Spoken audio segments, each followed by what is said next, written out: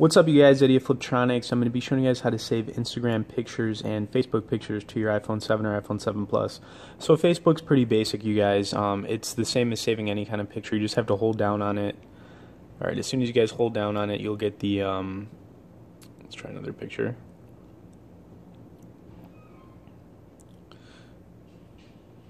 Okay, as soon as you click on the picture, just hold down on it, and then you just click Save Photo. That'll save the photo to your. Uh, um, photos and then you can uh, just check to make sure that it's saved. So let's just go in there and make sure that one's saved. Alright, you can see the photos right there, you guys. Instagram, however, is a little bit different. Um, you're not going to be able to just, you know, save the photo by clicking on it, and I'll show you guys what I'm talking about. So I have a photo, you know, right here. You hold down on the photo, uh, nothing happens, right? Um, there's an app that you can get in uh, the App Store called Quick Reposter. Um, it's free for download, so just go to the uh, App Store, type in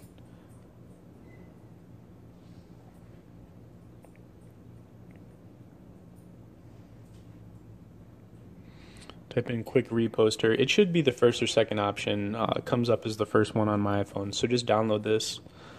Okay, as soon as you guys have that uh, installed, you're going to want to go to it, uh, click on the app, and then um, you're gonna have to log into it and then give it access to uh, you know your photos in order for this to work. So it pulls up all of the photos that are coming up in your feed. Uh, you, there's some different options in here. You can check out your profile, explore a little bit, but let's just go back to the home. So any photo that is coming up in your feed from anybody you're uh, friends with or following or whatever, just click on the photo. Uh, there are ad pop-ups in here, you guys. Um, they're not too terrible, but uh, you do have to X them out. So just one second. Okay, so uh, you just click on the photo, you click save. And then let's go back to the gallery to make sure that it uh, saved in there. And there you go, you guys can see it did save. Um, that's really the only way you can do it with Instagram. Uh, just give that app an, uh, a download. It's you know uh, it works really well and it's free for it's free to try. Um, you do have to deal with an ad pop up in there, but um, you'll be able to save your photos to from Instagram to your iPhone. So, anyways, guys, that is how you do that.